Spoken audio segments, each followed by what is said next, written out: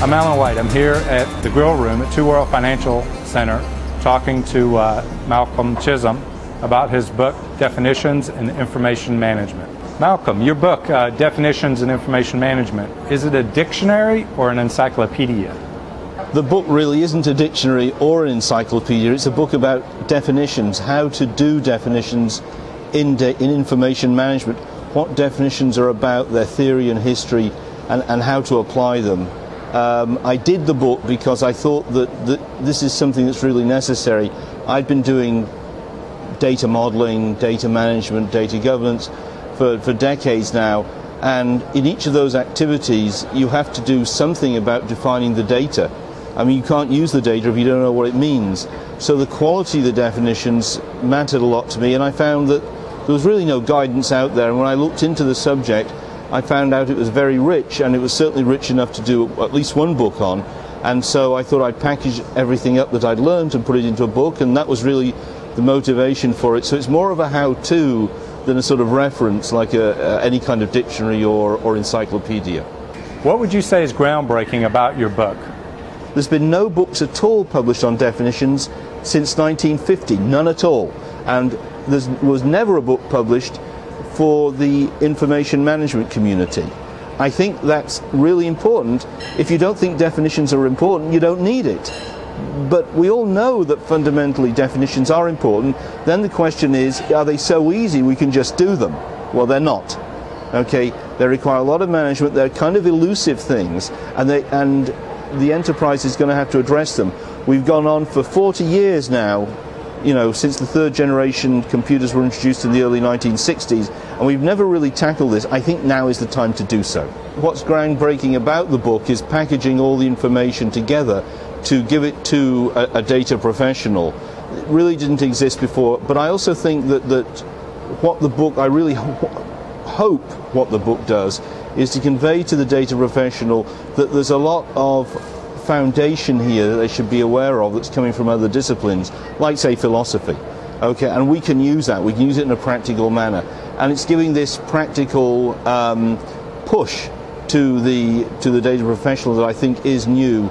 And I'm really hoping that people will use it and improve definitions, because again, you can't use data if you don't understand what it is. We've got to be able to communicate the understanding of what it means uh, between each other, and I think that's kind of lacking at the moment and we need that sort of lubrication in, in there in, our, in the overall competency, and frankly, it's missing right now.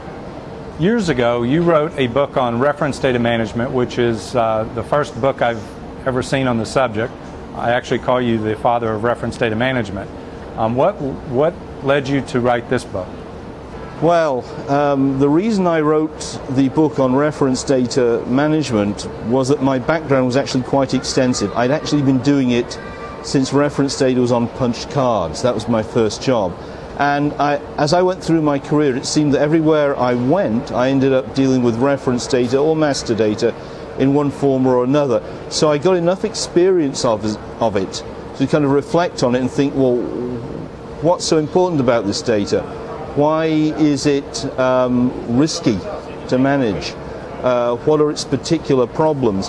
And I also got the, in, in my background, I felt that I, I never liked the idea, which was current in data management maybe 20 years ago, that data is just data and there's a one-size-fits-all approach to just data. And that master data, that reference data really is different. So I kind of wanted to prove that in the book and also bring in, you know, here's some practical ways of managing the stuff which I learned throughout my career and get that out to the audience. Now, of course, since then there's been you know a lot, lot more written about it, but in those days I, it was indeed the first book um, about uh, reference data. Um, uh, today there's a lot more, but it, it, it, I think the problems, if anything, have got worse since that time because of the, the rush to data integration. And so we'll see kind of where the future leads on that. So Malcolm, where do you see the market trending in information management based on the book you've written? The enterprise data management market's going to go in a lot of different directions. If we look at definitions, because that's the area that I'm interested in right now, I think it's critically important. You've got initiatives like the semantic web.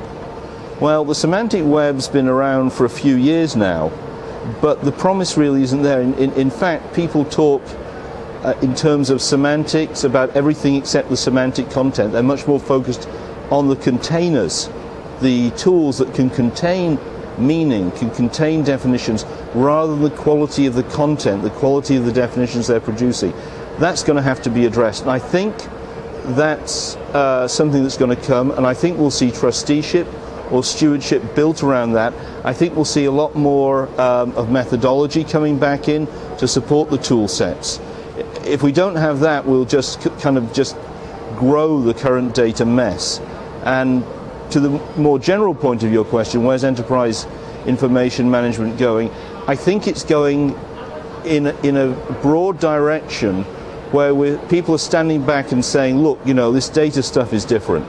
And they're thinking, or at least I'm, I think they're thinking, that they look at something like human resources and say, well, there's people everywhere in the enterprise. We have a common framework for managing people, and human resources looks after that. We all work in buildings. There's a common framework for looking after our buildings, and facilities management looks after that. Money is everywhere in the enterprise. Finance sets the rules for money. Data is everywhere in the enterprise. An enterprise information management unit, a horizontal function, just like human resources, should be responsible for administration or management of data in a general way. And I think we're going into that. It'll get us away from technology. We still need technology, but it'll be the organizational framework, the governance around it that's going to become more and more important. So technical people will have, I think, a little bit of a challenge in moving in that direction, but I think that's where it's going.